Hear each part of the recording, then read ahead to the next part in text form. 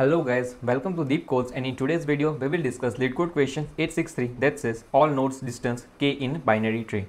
So guys this question is somewhere easy to medium level of question where you have to make one key observation in order to solve this. So if you have made that one observation right then you would be easily able to come up with an approach as well as you can come up with a code. So yeah guys watch this video and learn with me how you can make this observation. Now here you would be given one binary tree and uh, to identify the binary tree you would be given one root element as well as one target element. Now from this target element you need to return an array of nodes that are at a distance of k from this target right? So you need to return all the nodes that are at a distance k from the given target node. Okay you can return the answer in any order.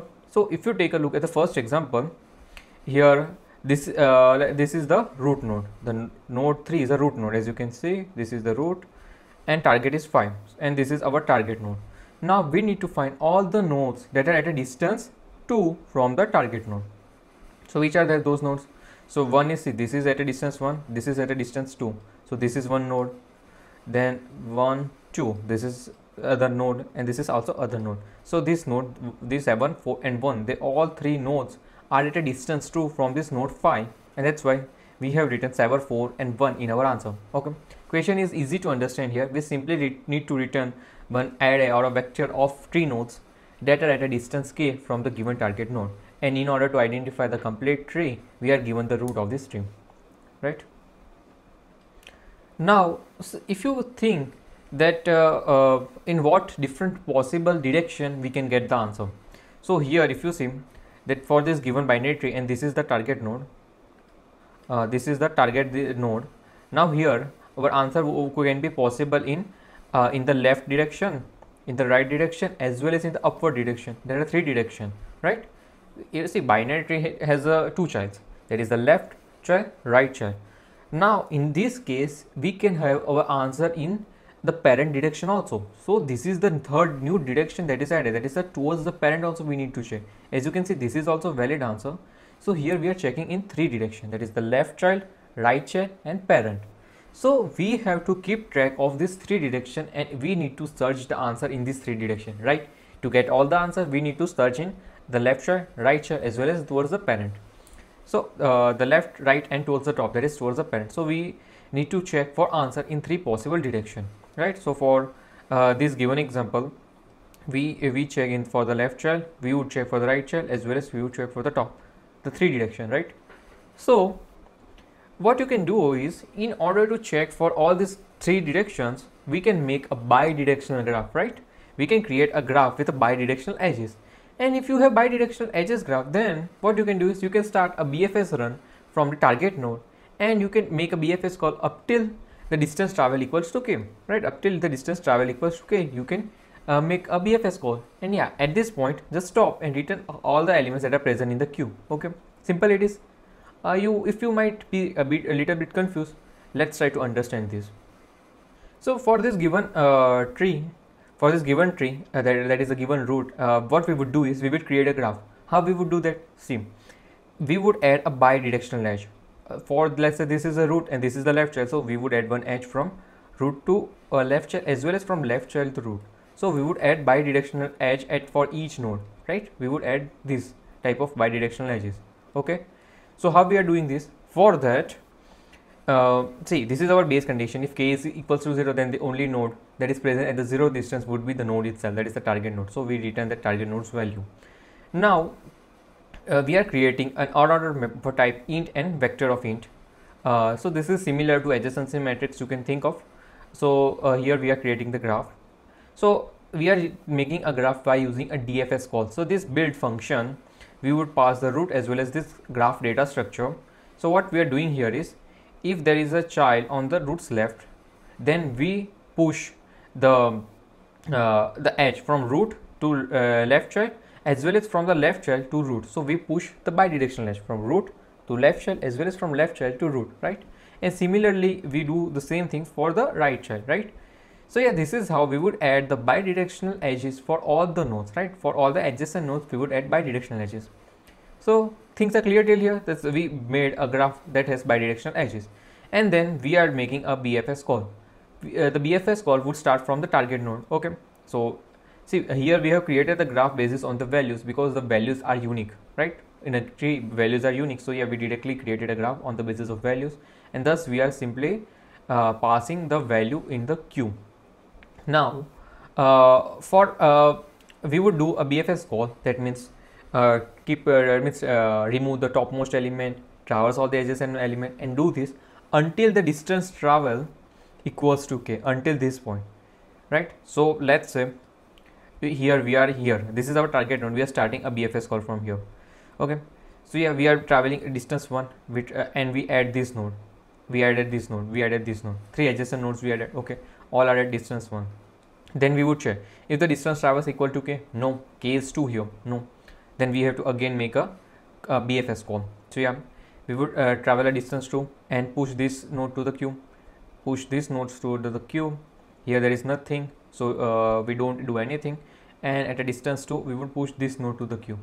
Now after we have traversed the distance equals to k that means distance travels equals to k then all the nodes that are present in the queue that is node 7 4 and 1 would be our answer right? Would be our answer. And that's why we simply uh, empty the queue and push all the nodes that are present in the queue at this point to our answer right? That is our answer.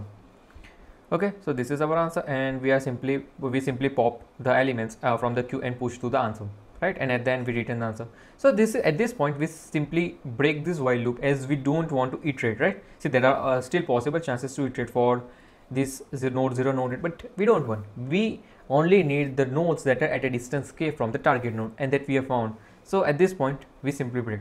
Okay? So yeah the time complexity for this solution is big O of n. Uh, if you want to go in a precise way then you can think of big O of n plus k. See this n is to make a graph this is to make a graph. And this is for bfs call. We are making bfs call only k times. So yeah that is that's why big of n plus big of k. And the space complexity also you can generally take it as big of n. Yeah. Okay. So this is one approach to solve this question. I hope this uh, it is not that in, uh, that hard to build the intuition to, to solve this question right? So there is one another way to solve the same thing but the only thing is we won't make a uh, graph the complete graph data structure so in that case what we can do is see guys we know who is our left child the target knows or target node also know who is his right child but but the target node doesn't know who is its parent. So in so in order to uh, track or to keep uh, track of the parent node also what we would do is we would make one bf uh, one dfs call to store the parent of all the nodes right? We would store the parent of all the nodes so that we can traverse from this target node to above that is towards its parent. We can also traverse in this direction right? We simply need to traverse in three direction left right and top. So in order to traverse to the top direction we would store who is the parent of the node right? When we will store that for all the nodes so yeah we can make the traversal easy. Let's see how we would do that. So uh, we have made a function called to find parent for a given root node. So what we are doing is here we are we are taken but unordered map uh, that is of tree node and tree node type right to store the parent of each node. Then what we are doing uh, see this is our base condition. Now if root of uh, left that means the given node has a left child then what we would do is we would pass a value uh, like parent of uh, root of left equals root. That means we have stored that for the left child the parent is this node right? So similarly we do it for um, this right child and yeah we recursively call for left and right child okay so so for an example let me put paste the same graph here. What we are trying to do here is see we stored uh, we created this unordered map unordered map parent and uh, see we are traversing from node 3 to towards the right. This is the dfs call we would make. But uh, when we before making the dfs call to 5 and 1 what we would do? There is a left child 5. So yeah what we would do is uh, for a 5 store 3 that is for a node 5 store parent value to 3 for a node 1 store parent value to 3 and then traverse for 5 and 1 Similarly, from 5 you will traverse to 6. Now before traversing, what we would do, we would store. Yeah, we have a left child. Then before traversing left child, what we would do, we would simply store the value for 6 to 5, the value for 2 to 5, right? So this is what uh, data we would store in the parent, right? So this complete function would do the same thing for all the nodes. It would store the parent value of a given node. And then the things are simple. We what we have to do, we have to traverse in the left, right and top three direction. So yeah, uh, we would traverse in the left direction node of left right direction and top direction. That is towards the parent. So in order to traverse what we are doing here is see we start traversing from target node. Also we keep track of k. That is the distance travel. Now uh, here we have taken a set so that we don't visit the same node again. So uh, so if the node is already visited then return now uh, else we insert the node and we check if k equals to 0 that means that we have uh, we have reached at a distance uh, where k equals to 0 that means we have reached the required distance. So in that case simply push the node value to the answer right? We have already uh, taken one answer variable here.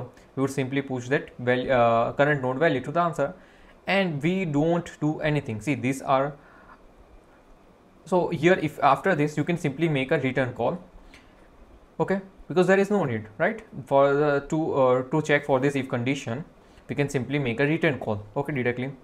Yeah and yeah if we haven't reached for k equals to 0 then we can do uh, we can we would check for the left child right child as well as top so yeah this way we would traverse in the three direction.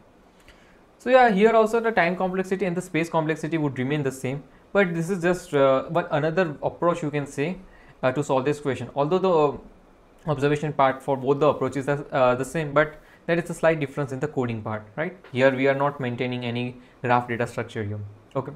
So yeah guys that's all for this video. If you guys have still any doubts then do let me know in the comment section. Make sure you like this video and subscribe to our channel. Thank you